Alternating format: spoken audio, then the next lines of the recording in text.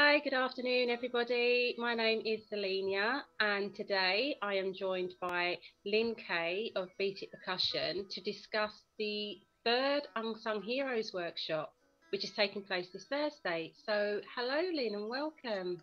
Hello, Zelenia. Nice to see you again. Nice to see you too.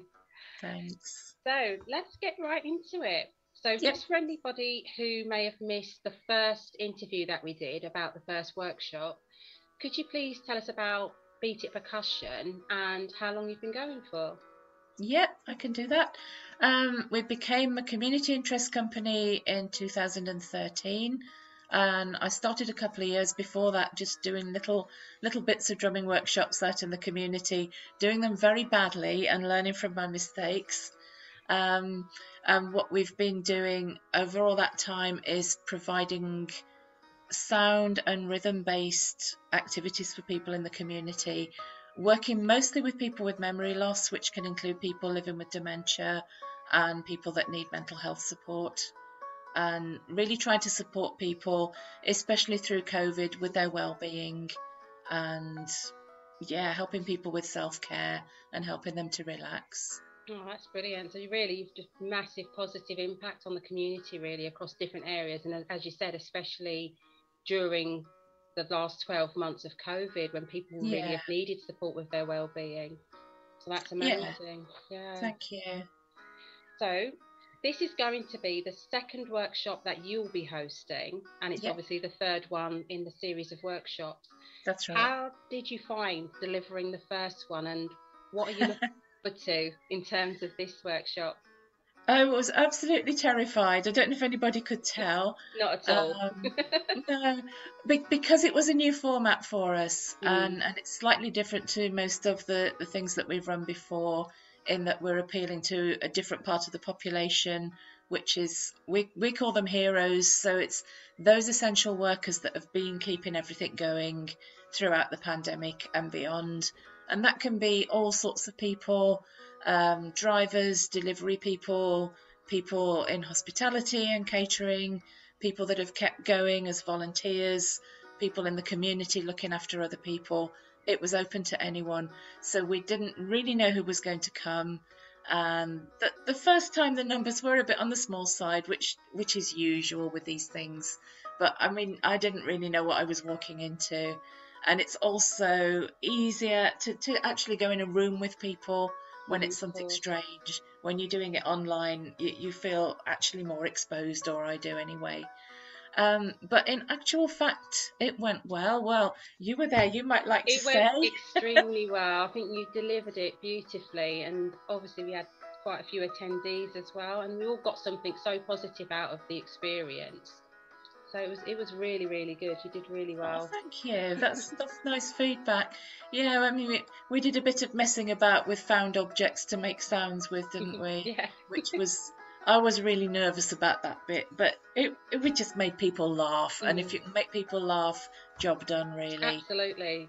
Yeah. about releasing that as well, isn't it? It's nice Well, to be that, able that's all part of what it's about the support after Exactly. COVID and talking about the, the feelings that we've been hanging on to. If you can let some of that go, that's got to be healthy. Mm. And then, if you remember, we did a sound bath, which is me playing the sensory instruments that we've got, the gongs and that sort of thing, to, to just give people a, a lovely, relaxed experience to finish on. Yeah, it was lovely. It was very relaxing. Singing bowls Thank are amazing. so, my next question. So, Yes. in terms of the workshop, it's an interactive rhythm workshop. So, Yeah. for anybody who may not know, what exactly is that? And if you could just give us a little idea as to what the attendees can expect on the day with the workshop. Yeah, yeah, very good question. Um, it's going to be completely different to the other one that we just talked about. Similar in a way that the first part of the evening or the morning, because we're running two sessions on the day to enable people to join whichever they can. Um, it starts with a, a sort of a conversation about COVID issues and how people have been affected by that, but trying to look at it in a positive way, looking at ways to support each other moving forward, or as you said just now, dealing with some of those pent up feelings perhaps, and, and just recognizing that, that people have had separate but similar experiences, and that can be quite healing. The activity as such is going to be interactive, so I don't necessarily expect every person to own a drum and have one in their own home, even though that's that's sort of fairly normal for us here. But you can make drumming sounds on virtually anything. You can actually do it with your hands on your knees if you've got nothing else to use. That works. I'm going to suggest that people perhaps put a book on the table, a nice thick book like the old phone directories. We don't have those anymore, do we? or even a cushion. A cushion and a pair of chopsticks works fine. You don't have to be able to make a lot of volume, but I want people to be able to experience tapping something and feeling that in their bodies. Well, that's, a, that's brilliant as well, though, isn't it? I mean, the fact that you're so flexible with the approach that you know it's household objects, whatever you've got to hand. You know that that really makes these workshops really accessible to everybody because, like you said, not everyone's going to have a drum. No. You know, so it's just showing them that yeah, you can take part and you can make sound with absolutely yeah. anything. Yeah, we do deliver drums to people if they want to mm. borrow them. That can be arranged as well, oh, cool. but not at this short notice yeah. probably. But that is always an option. But you know, if if you look at children, this is how they start. They they tap things together. Absolutely. And, and the rest is history, sort of thing. So. Mm. Yeah, it also means that if you've enjoyed it, you can carry on. You can do it again for yourself. You can show your household or your family members, hey, we did this. It was a bit silly, but it was actually fun, and and you can share that knowledge. Oh, brilliant. Okay, so for my final question, so mm-hmm. there is one more Unsung Heroes workshop to take place after this. Yes. How have you found organising the workshops and in terms of delivering these workshops online, is it a format that you'll continue to have as we come out of COVID, obviously, mm-hmm. and hopefully once lockdowns are over? Okay.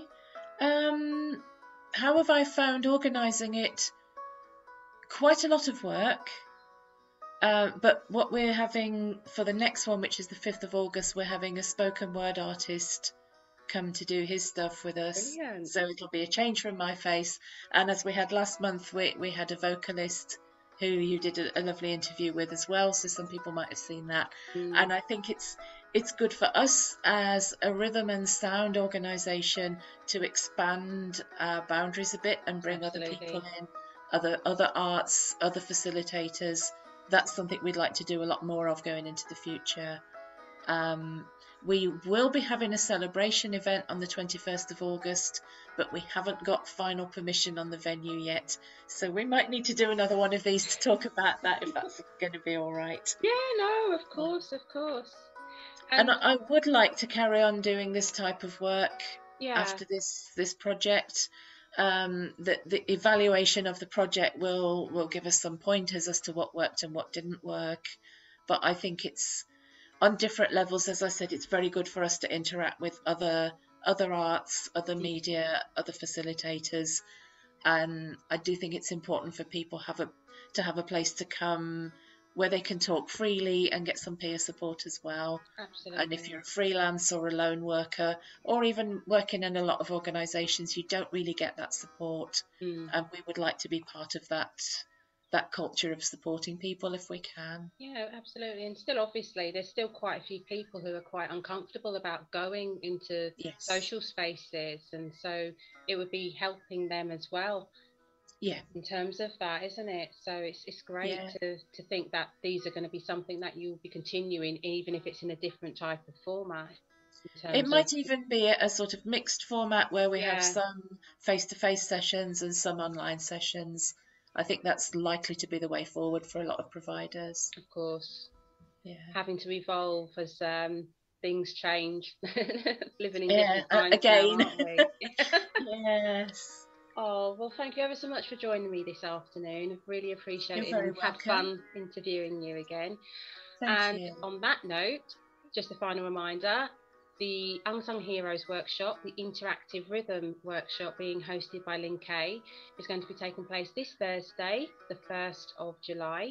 And there are going to be two sessions, one in the morning at 10 o'clock, 10.30, is it 10 o'clock to 11.30, isn't it? Uh, yes, that one. 10 to 11.30. 11.30. And then there's an evening session, half six till eight. So be sure right. to get yourself booked on. So thank you. Thanks, Selenia.